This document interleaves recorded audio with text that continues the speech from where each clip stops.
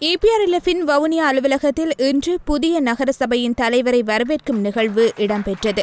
இதன் பின்னர் இடம்பெற்ற ஊடக சந்திப்பில் கருத்து தெரிவித்த போதே நாடாளுமன்ற உறுப்பினர் சிவசக்தி ஆனந்தன் இதனை கூறியுள்ளார். ஒரு யாப்பின் பிரகாரம் எதிர்காலத்திலே ஒரு- ஒரு சரியான பாதையிலே தமிழ் தேசிய கூட்டமைப்பு செல்லுமாக இருந்தால் வடக்கு கிழக்கில் இருக்கக்கூடிய எங்களுடைய உறுப்பினர்களுடைய ஆட்சி அமைப்பதற்கான எங்களுடைய ஆதரவை தருவது சம்பந்தமாக நாங்கள் அதுக்குரிய நடவடிக்கை எடுக்கிறதுக்கு தயாராக இருக்கிறோம். ஆகவே கூட்டமைப்பில் அங்கம் வகிக்கின்ற கட்சி தலைவர்களுடைய கூட்டத்தை நீங்கள் ஒழுங்கு செய்யுங்கள். அந்த கட்சி தலைவர்கள் கூட்டத்திலே ஒரு இடக்கப்பாடு எட்டப்படுமாக இருந்தால் வடகிழக்கிலே எங்களுடைய ஒத்துழைப்பு ஆதரவை நாங்கள் வழங்குவதை பற்றி நாங்கள் அதுக்குரிய எங்களுடைய தமிழ் தேசிய விடுதலை கூட்டமைப்பினுடைய பங்காளி கட்சிகள் தலைவர்களோடு பேசி சாதகமான முடிவை தரலாம் என்று கூறியிருந்தோம். தமிழ் தேசிய கூட்டமைப்பின் தலைவர்களுடையான சந்திப்புக்கு எந்த விதமான ஒழுங்குகளும் செய்யாமல் வடக்கு கிழக்கு முழுவதும் தேசிய கட்சிகளோடு இணைந்து ஆட்சி அமைத்து விட்டு வவுனியாவில் மட்டும் ஒரு சில இடங்களிலே நாங்கள் தேசிய கட்சிகளோடு இணைய மாட்டோம்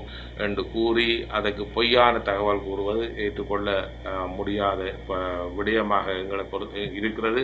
இங்கு தொடர்ந்தும் கருத்து தெரிவித்த சிவசக்தி ஆனந்தன் அபிவிருத்தியோடு இனப்பிரச்சினைக்கான தீர்வுக்காகவும் உள்ளூராட்சி சபைகள் முன்னின்று செயற்பட வேண்டும் என கூறினார். இந்த உள்ளூராட்சி மன்றம் என்பது வடக்கு கிழக்க பொறுத்த மட்டும் முழுக்க முழுக்க இந்த உள்ளூராட்சி மன்றங்களூடாக நாங்கள் மக்களுக்கான அபிவிருத்தி பணிகளில் தான் நாங்கள் கவனத்தை செலுத்த வேண்டும். அது மாகாண சபையாக இருக்கலாம் மத்திய அரசாங்கம் இருக்கலாம். அபிவிருத்தி விடயங்களில் நாங்கள் கவனத்தை செலுத்த வேண்டும். ரெண்டாவதாக தேசிய இனப்பிரச்சினை தொடர்பாக அதிலே நாங்கள் அதாவது தமிழ் மக்களுடைய தேசிய இன பிரச்சனை தொடர்பாக எங்களுக்கு எங்களை எங்கள எங்களோட கட்சிக்கு ஒரு நீண்ட அனுபவம் இருக்கிறது. ஆகவே உள்ளூராட்சி மன்றத்தினுடைய அபிவிருத்தி பணிகளையும் தேசிய இன பிரச்சனையோடு தொடர்பட்ட விடயங்களை நாங்கள் ஒன்றோடு ஒன்று நாங்கள் அதை குழப்ப வேண்டிய அவசியம் இல்லை. மிக தெளிவாக இருக்கின்றோம்.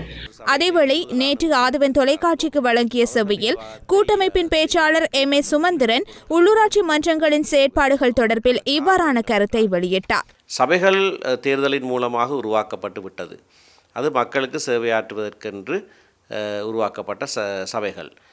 அதிலேயும் விசேடமாக உள்ளூராட்சி சபைகள் அரசியல் விடயங்களிலே ஈடுபடுகிற சபைகள் அல்ல.